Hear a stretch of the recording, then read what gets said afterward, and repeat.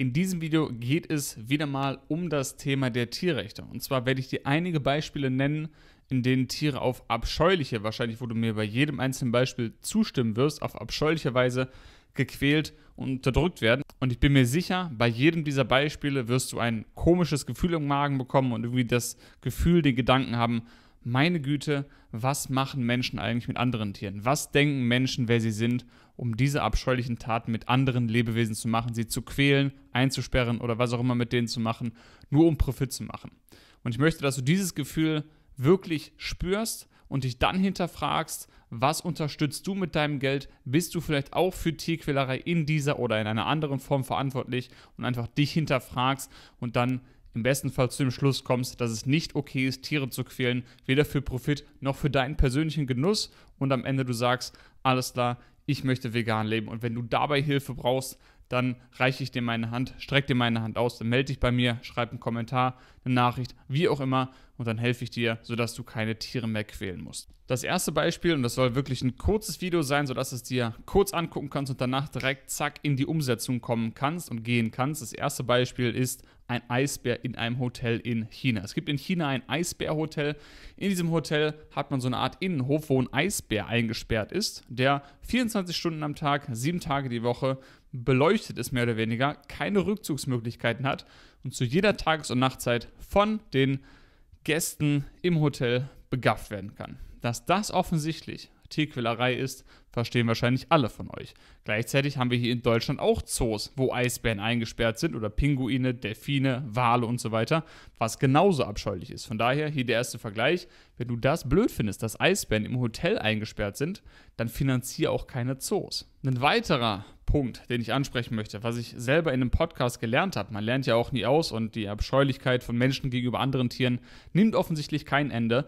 Und zwar die Firma Mitsubishi. Kennst du vielleicht von Autos oder Klimaanlagen? Die haben aber in Asien tatsächlich auch riesige Kühlhäuser die voll bis oben hin sind mit gefrorenem Blaufischentun oder einer anderen Thunfischart. Diese bestimmte Thunfischart ist vom Aussterben bedroht und Mitsubishi hat nichts anderes zu tun, als riesige Mengen von diesem Fisch aufzukaufen, ganze Fischerboote extra nach diesem Fisch jagen zu lassen, sodass sie dann diese Fische einfrieren können in ihren Kühlhäusern, weil sie wissen, dass diese Art kurz vorm Aussterben ist, weil dieser Fisch aber als Delikatesse gilt, kaufen die jetzt noch alles, was sie bekommen können, fangen noch jeden Fisch, den sie kriegen können, weil sie wissen, der wird irgendwann aussterben, wenn wir so weitermachen, wenn bestimmte Menschen so weitermachen, um dann eben den Preis beliebig nach oben regulieren zu können.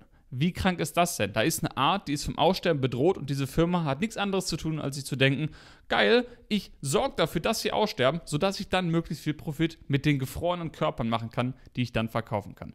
Absolut barbarisch. Auch hier wieder, wenn du das abscheulich findest, warum kaufst du dann Thunfisch im Supermarkt? Ob der Fisch vom Aussterben bedroht ist oder nicht, ändert ja nichts daran, dass diese Tiere ein Recht haben zu leben und es ungerechtfertigt ist, sie zu essen, obwohl du tausend andere Möglichkeiten hast. Ein weiterer Punkt sind Blutfarmen in Südamerika. Dort werden Pferde eingesperrt, werden künstlich besamt, sodass sie schwanger werden, weil die dann in ihrem ja, schwangeren Körper bestimmte Hormone ausschütten. Diese Hormone sammeln sich im Blut. Das Blut nimmt man diesen Stuten ab und extrahiert es dann eben aus diesem Blut, gewinnt eben dann diese bestimmten Stoffe, die man dann auch hier in Deutschland teilweise in der Schweinezucht einsetzt, um das dann den Schweinen zu geben, um deren Schwangerschaften zu synchronisieren und dafür zu sorgen, dass sie möglichst eine genaue Anzahl an Nachwuchs und zu einer gewissen Zeit bekommen. Das heißt, man sperrt Pferde ein auf der anderen Seite der Welt zapft denen das Blut ab. Die Fohlen werden natürlich geschlachtet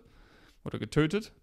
Extrahiert aus diesem Blut Stoffe, die man dann hier Schweinen gibt, die hier im Kastenstand leben, damit man deren Schwangerschaften in, in, in Synchronisation bringen kann. Jeder hat vielleicht auch von dem Yulin Dog Festival gehört, wo in China jedes Jahr einfach nur aus Traditionsgründen, weil es einfach nur eine blöde Tradition ist, Hunderttausende Hunde geschlachtet werden, auf offener Straße geknüppelt werden, hinter verschlossenen Türen geknüppelt werden. Wo das jetzt passiert, ist ja egal.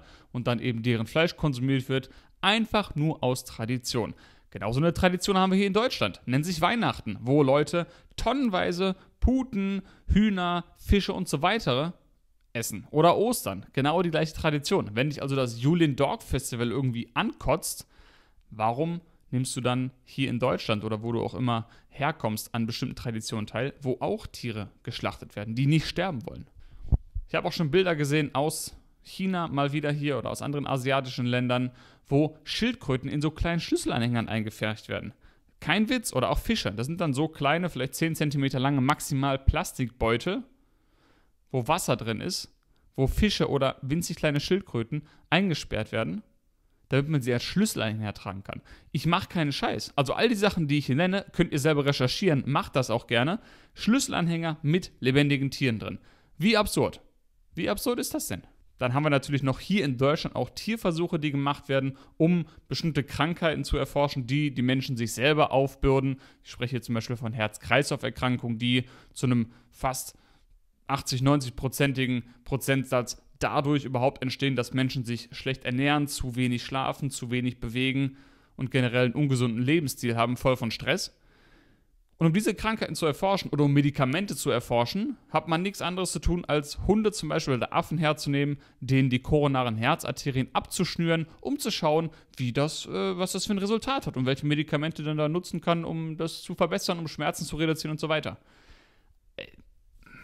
ich fasse mir immer wieder an den Kopf, warum Menschen so grausam zu anderen Tieren sind und warum du vielleicht noch dafür bezahlst, dass andere Menschen grausam zu diesen Tieren sind, indem du nicht vegan lebst und Fleisch isst, Milch konsumierst, Eier isst, Fische konsumierst, Leder kaufst, Wolle kaufst, Pelz kaufst, Tierversuche unterstützt und so weiter. Lass uns nochmal kurz über Meereslebewesen sprechen, zum Beispiel die Haie, die gefangen werden, damit man ihnen dann die Flossen abschneiden kann und dann die leblosen Körper wieder in den Ozean schmeißt. Auch das findest du wahrscheinlich abscheulich, bezahlst aber weiterhin dafür, dass das gleiche mehr oder weniger passiert mit anderen Fischen, die zwar dann nicht lebendig in den Ozean geschmissen werden, die aber trotzdem an Deck von riesigen Fangschiffen leiden, damit du Fischstäbchen essen kannst. Ihr habt wahrscheinlich auch schon Bilder gesehen von einer Bucht in Japan ist es, glaube ich, wo auch in regelmäßigen Abständen Delfine zusammengetrieben werden, die dann in dieser Bucht abgeschlachtet werden, sodass sich das gesamte Wasser dort rot färbt, weil manche Menschen einfach gerne Delfine essen oder weil diese Delfine sonst Fische essen würden, die die aber die Menschen lieber fangen und verkaufen wollen. Oder wenn man diese Delfine einfach einfängt, um dann sie an Delfinarien zu verkaufen. Alles, alles abscheulich. Und warum sage ich das alles? Ich sage das, ich habe mir jetzt diese Extrembeispiele rausgesucht, um dir zu zeigen, dass es einfach falsch ist, mit anderen Lebewesen so umzugehen. Und wenn es falsch ist, den Delfin in der Bucht abzuschlachten, aus Profitgründen, dann ist es doch genauso falsch, Schweine in die Gaskammer in Deutschland zu stecken, um eine Wurst zu essen, oder? Denn das Schwein, das weiß nicht, ob es vom Aussterben bedroht ist oder ob es extra dafür gezüchtet wurde ob, oder ob die Menschen es als Nutztier bezeichnen.